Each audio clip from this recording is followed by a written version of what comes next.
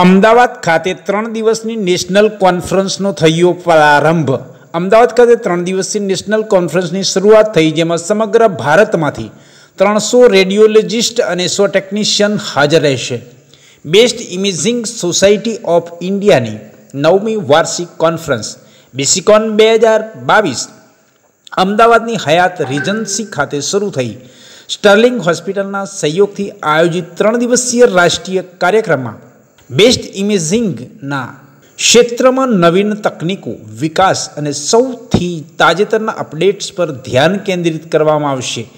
દેશભરમાંથી ત્રણસોથી વધુ રેડિયોલોજિસ્ટિસ અને ઇમેજિંગ નિષ્ણાતો, જેમાં જાણીતા વક્તાઓ, નિષ્ણાતો તેમજ બેસ્ટ ઇમેજિંગ ક્ષેત્રે નવા નિશાળિયા સામેલ છે, જે આ કોન્ફરન્સમાં ભાગ લઈ રહ્યા છે. દર વર્ષે ભારતમાં કેન્સરના કેસોમાં રેકોર્ડ વધારો જોવા મળી રહ્યો છે. સ્તન કેન્સર હવે ભારતમાં સ્ત્રીઓમાં સૌથી સામાન્ય કેન્સર છે, જેમાં મોટાભાગના દર્દીઓનું નિદાન અદ્યતન તબક્કામાં થાય છે. તેથી વહેલું અને અસરકારક નિદાન અને અદ્યતન ઇમેજિંગ તકનીકો એ સમયની જરૂરિયાત છે. આ પ્રસંગે સ્ટર્લિંગ હોસ્પિટલના એમડી અને CEO doctor Simardeep S Gill, doctor Neha Shah, organising secretary BISCON બે હજાર બાવીસ સહિત મહાનુભાવો ઉપસ્થિત રહ્યા હતા. આ કોન્ફરન્સ સિવાયમાં વિચારોના આદાન પ્રદાન માટે સહભાગીઓને તેમના સાથીદારો સાથે જોડવા માટે એક ઇન્ટરેક્ટિવ પ્લેટફોર્મ પૂરું પાડીએ છે. સ્ટર્લિંગ હોસ્પિટલ સ્તન કેન્સર વહેલી તપાસ અંગે જાગૃતિ લાવવા કોન્ફરન્સનું આયોજન કરવામાં આવ્યું હતું. આ પ્રયાસ સ્તન કેન્સર સ્કિનિંગના મહત્ત્વ વિશે જનજાગૃતિમાં વધારો થશે. कैंसर एक चीज़ है जो हिपोक्रेटिस टाइम से भी था, बहुत साल से है। लेकिन जब हम उसको, तब ना वो लोग स्तन को कटवाते थे या जो भी है। अभी जो ट्रीटमेंट आया है, हम अच्छी तरह से स्तन को प्रिजर्व करके हम रख सकते हैं और फैलना भी बंद कर सकते हैं। तो कारण है लाइफस्टाइल। पहले और पहले हम बहुत फ़िज़िकल काम करते थे। आज आ, अभी उतना नहीं है। पोल्यूशन जो है स्ट्रेस फैक्टर है। और आजकल के लड़कियाँ हम अच्छी है बा, बात बहुत अच्छी है कि हमने उनका एजुकेशन दिया है। लेकिन वो काम करना शुरू कर देते हैं। तो बच्चों को you know you don't breast feed because you have to go for work. So all these factors are piling up and urbanization. जो सिटीज़ बढ़ जाते हैं तो पोल्यूशन सब होता है तो कारण यही होता है। लेकिन झेलना भी हमारा काम है जैसे फिटनेस जिम को जाओ रोज कसरत society of India madam ladies के अवेयरनेस के लिए आप बताइए। लेडीज़ को 40 साल के बाद एक मैमोग्राफी करना चाहिए दो once in two years and और उसके बाद जब आपका महीना होता है, तब एक बार मंथली तो आपका सेल्फ परिशोध करना चाहिए।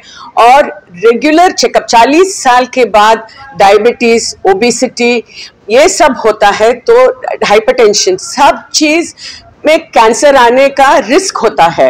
तो रिस्क फैक्टर हमें करना चाहिए और हमारा लाइफस्टाइल अच्छी तरह से करना चाहिए। कैंसर आना इस अपनी तकदीर है बट उसको झेलना और उसका ट्रीटमेंट इलाज करवाना हमारा शरीर अगर ताकतवर है तो हम, हमको प्रॉब्लम नहीं क्योर रेट है। बहुत से लोग हैं जिनका कैंसर मनीषा कोयराला है और जितना भी हमें, हमारा में गौतमी है तो कितने भी लोग आए हैं, कितने भी कितने भी लोग आए हैं, वो सब उनको रिजॉल्व करके अच्छा हो गया है तो we should we should realise that we should do a self examination on a monthly basis uh, mammography after 40 once in two years at least and go for regular checkups so that you can assess your risk reduce your risk then only you will be able to fight it like so many youngsters as i have told madam યે હોને so many youngsters આસ્તે હું doctor Neha છું. હું Sterling cancer હોસ્પિટલમાં radiology consultant radiology તરીકે કામ કરું છું. મેડમ આજના દિવસે અહીંયા breast imaging society of India એક એવું ફાઉન્ડેશન છે જે ખાસ બ્રેસ્ટ કેન્સરના ફિલ્ડમાં કામ કરે છે. એની એ સોસાયટીનું નામ છે બીસી એટલે breast imaging society of India અને દર વર્ષે દસ વર્ષથી જ આ દર વર્ષે એક એન્યુઅલ કોન્ફરન્સનું આયોજન કરે છે. આ વખતે આપણને આ આયોજનનો તક મળી છે. અને બીસીકોન એ એની એન્યુઅલ કોન્ફરન્સ છે. બીસીકોન એ એની એન્યુઅલ કોન્ફરન્સનું નામ છે. આજે આપણે બધા જ અહીંયા નાઇન્થ એન્યુઅલ કોન્ફરન્સ એટલે નાઇન્થ એડિશન ઓફ બીસીકોન માટે ભેગા થયા છે. સ્ટર્લિંગનો આ ફિલ્ડમાં બહુ જ મોટો ફાળો છે. એ આપણે બધા જ જાણીએ છીએ. સ્ટર્લિંગ એ ગુજરાતની જ નહીં અને પણ ઇન્ડિયાની one of the leading multi speciality અને કેન્સર સ્પેશિયાલિટી હોસ્પિટલ છે.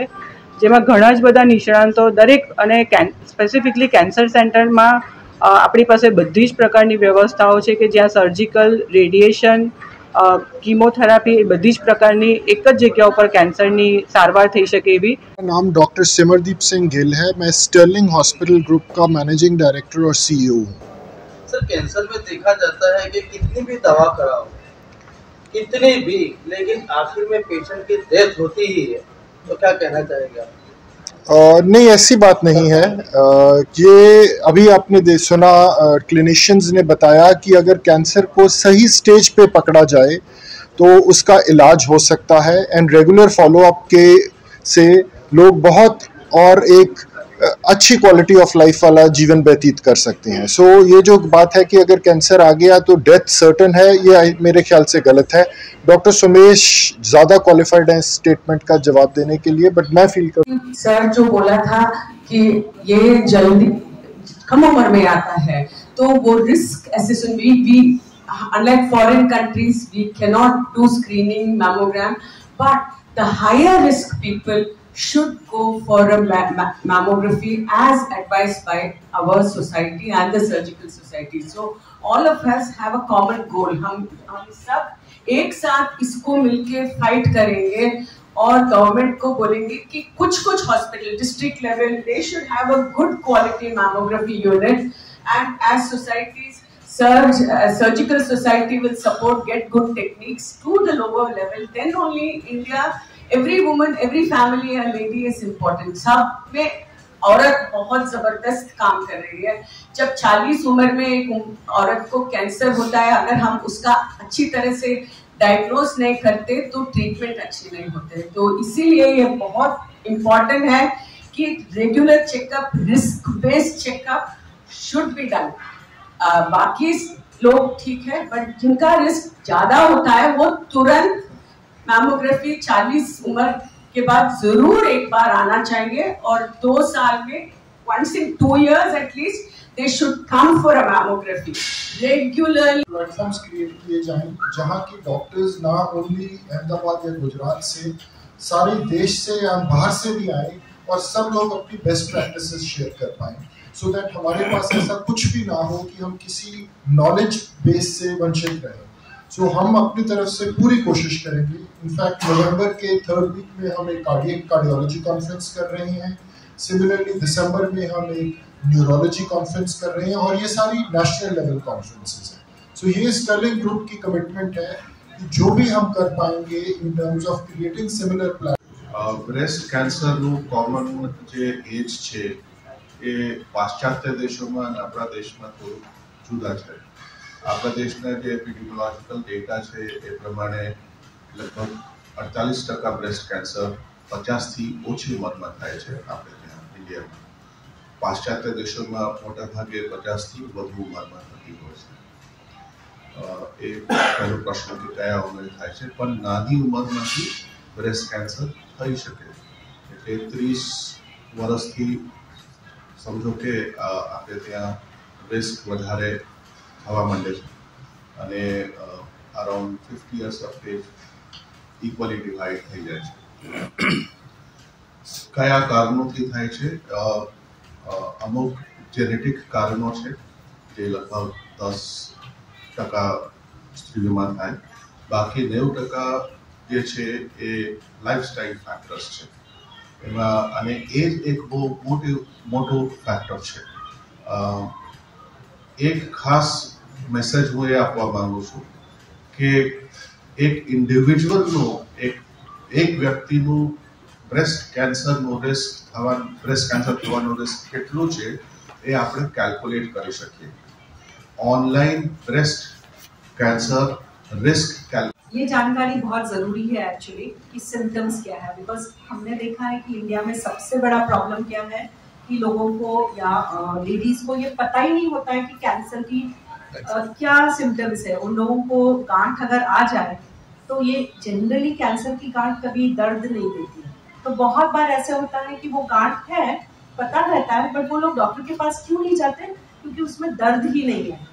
तो ये जानना ज़रूरी है आम लोगों को या औरतों को कि जो भी गांठ अगर आपको फील हुई है तो आप ज़रूर डॉक्टर के पास जाइए। आप ज़रूर देखिए बिकॉज़ सारी गांठें कैंसर नहीं होती है। सो डर के मारे सामने नहीं जाना वो भी एक गलत बात है। डॉक्टर के पास जाके चेकअप कराओ वेदर इट इज़ सादी गांठ है या कैंसर की गांठ है। तो गांठ एक सिम्टम है। दूसरा सिम्टम है change of the breast size कभी रेडनेस आ जाता है कभी निपल डिस्चार्ज होता है। सो so, कोई भी ऐसी जो सिम्टम होती है अगर जो फ़र्स्ट टाइम पता चले तो ज़रूरी है कि एटलीस्ट उसका एक बार जाके डॉक्टर के पास चेकअप कराएँ। बिकॉज़ ज़रूरी नहीं है कि वो सब कैंसर ही हो गए। बट अगर कैंसर है तो वो अर्ली डिटेक्शन हो जाएगा उसका।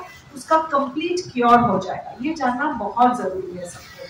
हमारे यहाँ क्या होता है कि सारे लोग जब गांठ तीन सेंटीमीटर से बड़ी होती है, तब जाते हैं डॉक्टर के पास। और तब तक वो बाकी के बॉडी में भी फैल जाता है। तो स्टेज टू और अबाव हो जाता है। तो उसका ट्रीटमेंट उसका कंप्लीट क्योर उसका ओवरऑल सर्वाइवल कम होता है। बट अगर तुम गांठ बहुत छोटी है, तभी ट्रीटमेंट ले लो तो कंप्लीट क्योर हो सकता है।